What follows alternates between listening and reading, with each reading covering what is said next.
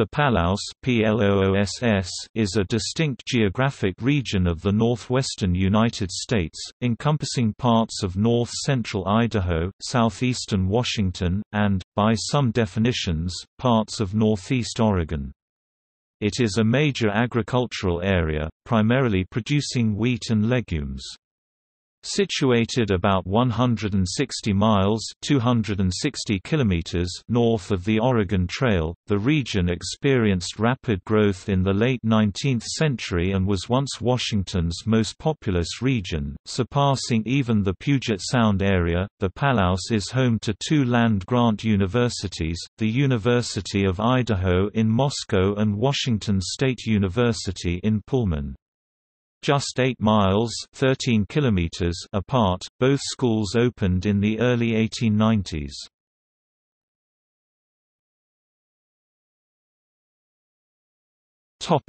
Geography and history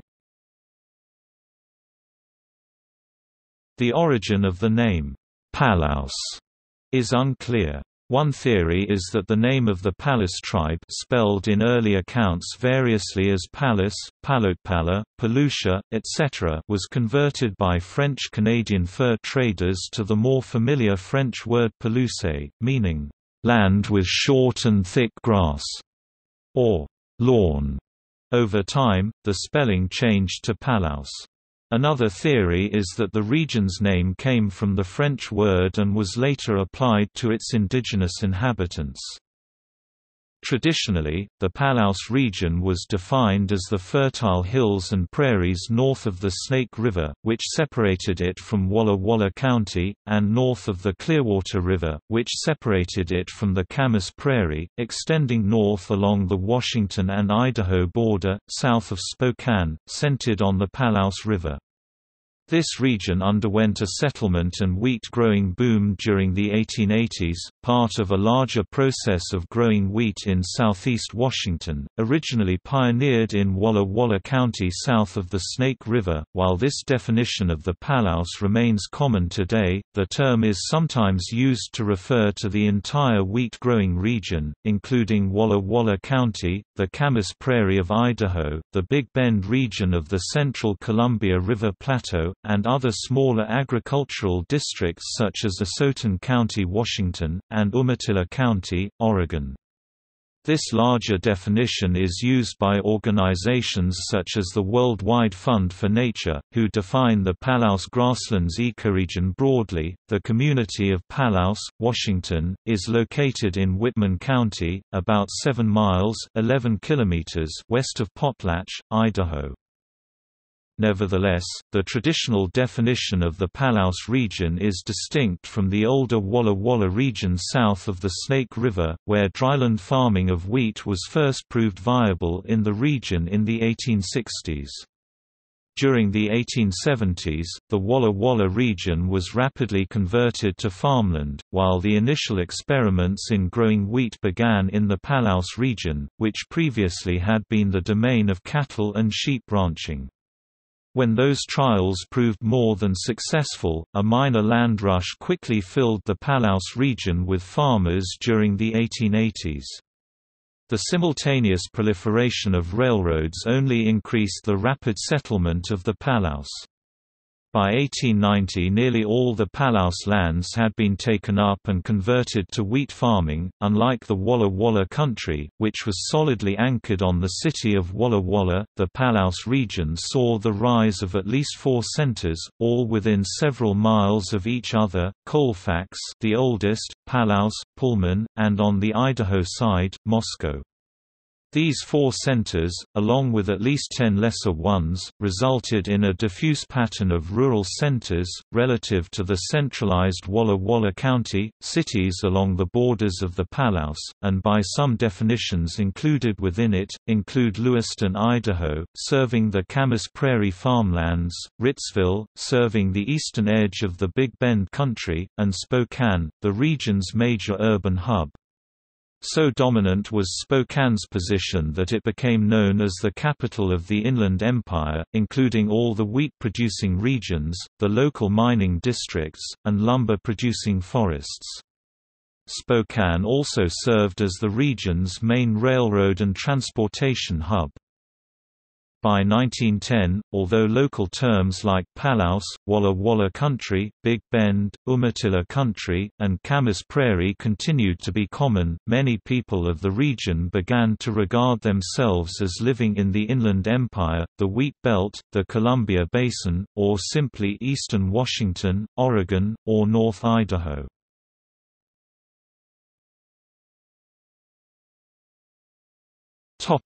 Geology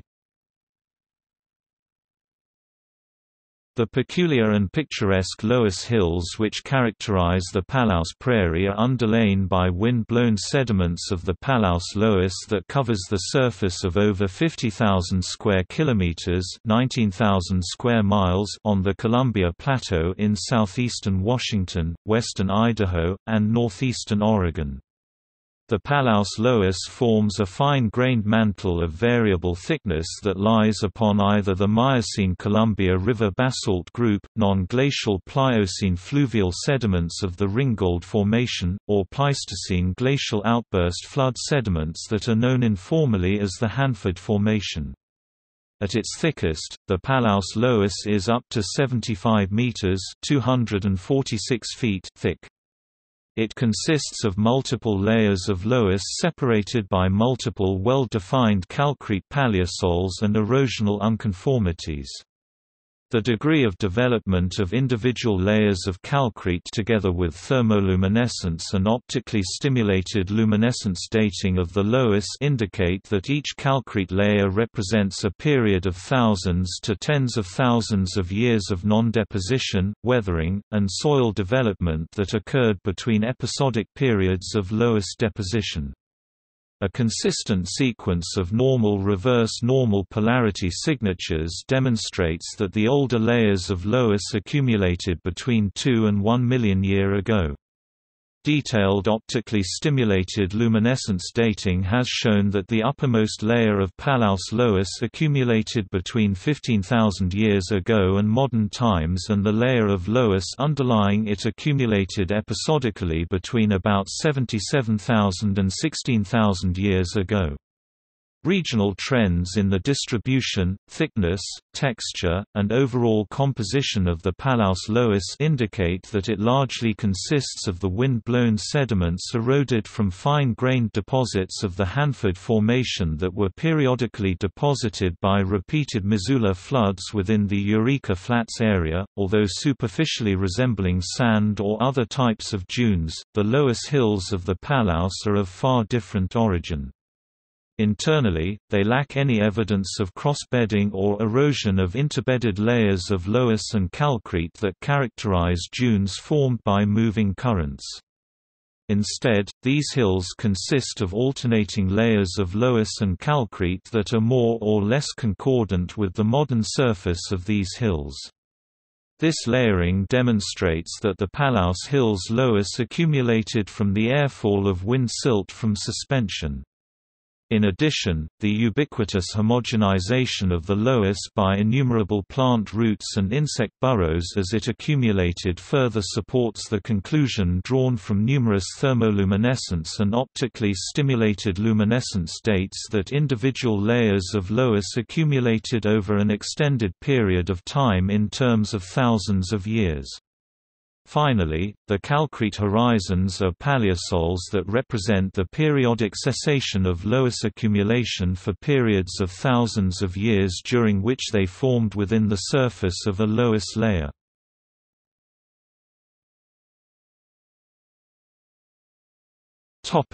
Farming Early farming was extremely labor-intensive and relied heavily on human and horse power. An organized harvesting, threshing team in the 1920s required 120 men and 320 mules and horses. Teams moved from farm to farm as the crops ripened.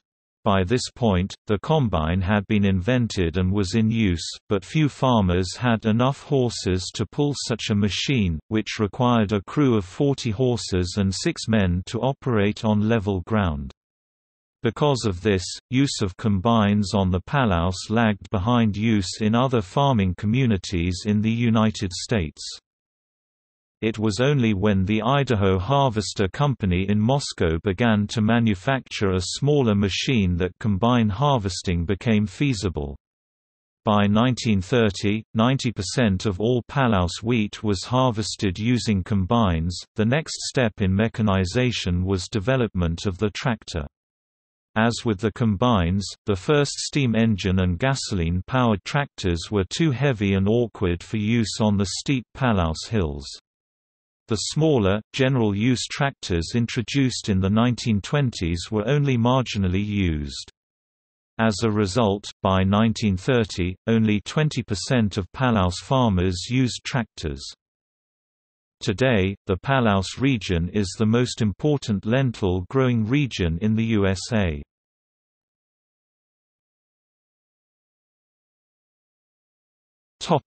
Environment Once an extensive prairie composed of mid-length perennial grasses such as bluebunch wheatgrass Agropyron spicatum and Idaho fescue Festuca idahoensis, today virtually all of the Palouse prairie is planted in agricultural crops. The native prairie is one of the most endangered ecosystems in the United States Noss et al., 1995, as only a little over 1% of the original prairie still exists. People have taken their toll on wildlife. Birds and small mammals, once abundant, are now few. The intensive roadbed-to-roadbed farming currently practiced across the Palouse leaves few fences and fewer fence rows.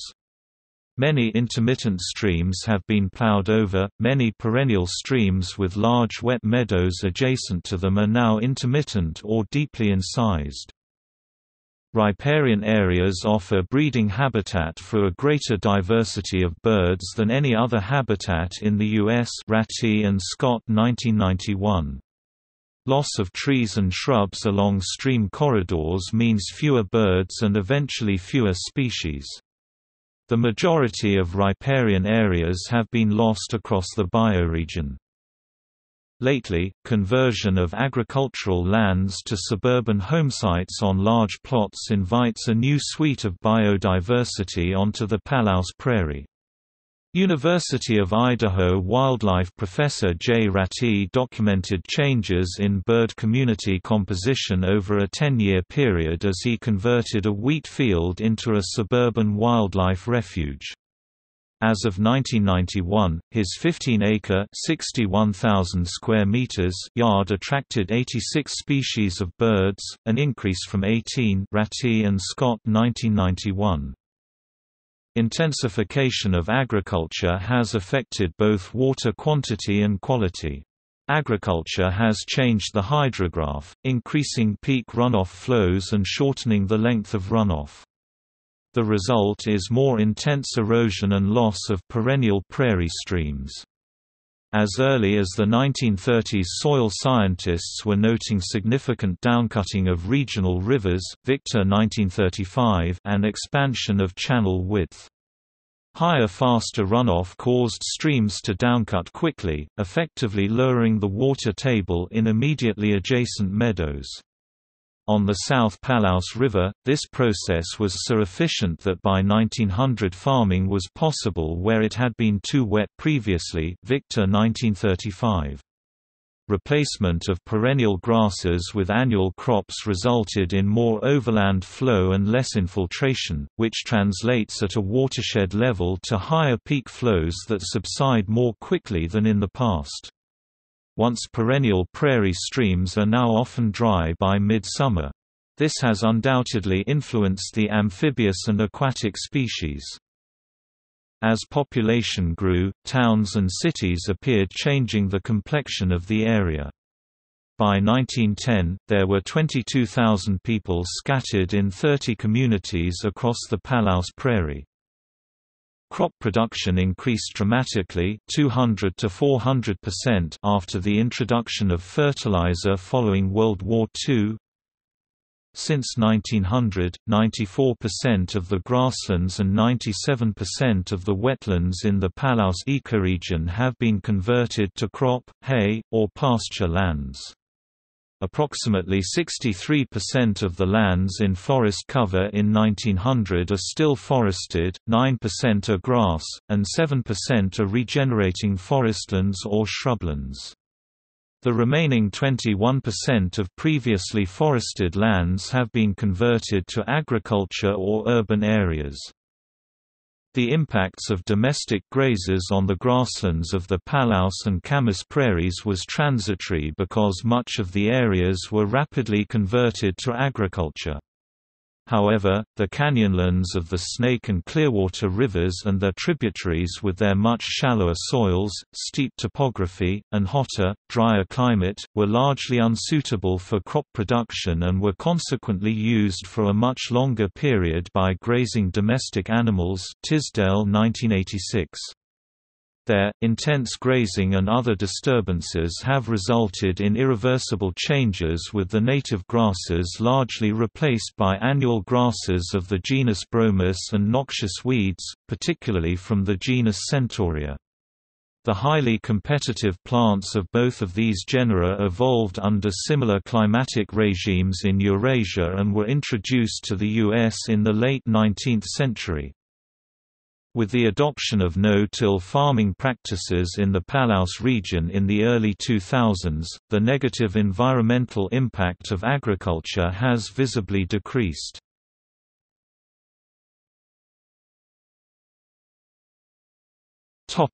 Fires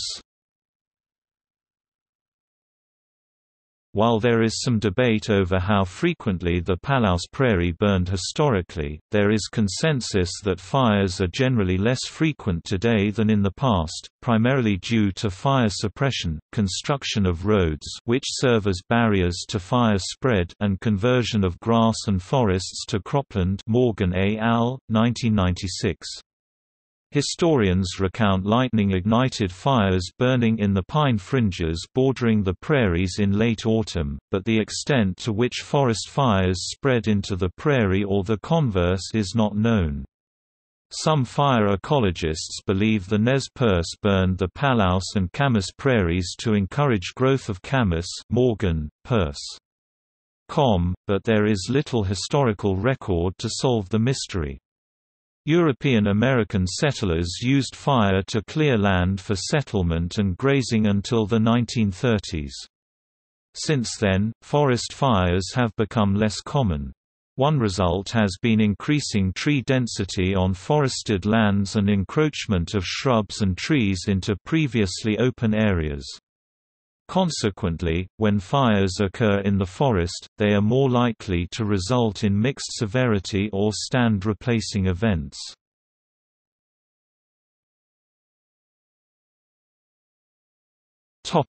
In fiction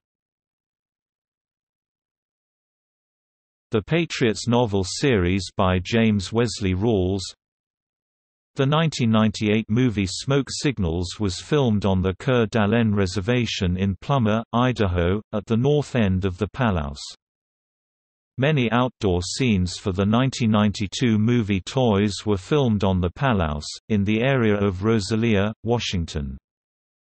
Rural scenes in Talent for the game were filmed in 1990 in Genesee, Idaho, and Garfield, Washington. Part of Neal Stephenson's 1999 novel Cryptonomicon takes place in Whitman County, Washington. Josie Poe, Palouse, Washington 1943 by Kathleen Duey is set entirely in the town of Palouse.